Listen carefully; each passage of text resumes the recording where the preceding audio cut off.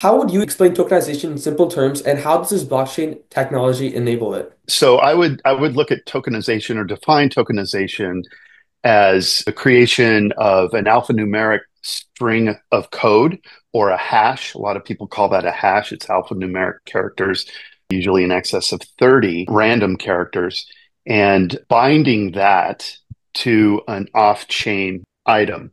Now, in this space, we're currently diving into the cryptocurrency realm. And like email with the internet, cryptocurrency is the first application on blockchain that provides mass proliferation or provides for mass proliferation. I'll argue that tokenization opens up blockchain technology to basically every area within the economy, the global economy. So if you have this hash, this alphanumeric hash, you you bind that with either a bond, a security, an item in a supply chain, a parcel of real estate. That allows you to upload that token, that becomes the token. That token then is uploaded to the blockchain.